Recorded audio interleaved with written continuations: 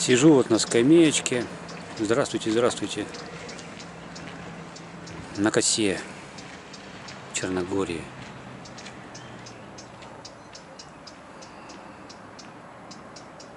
Двадцать шестого мая 2019 года. Вот сижу на лавочке, скамеечке. Передо мной вот такая красота. Горы Черногории. Очередной штат, очередная республика России. Никуда не надо ездить, товарищи. Не надо ездить в Сочи. Не надо ездить в Крым. Не надо туда ездить. Надо летать в Черногорию. Здесь на порядок все круче. Ну, если, конечно, у вас нет возможности, тогда другое дело. Вот это желтое, желтый, желтое растение,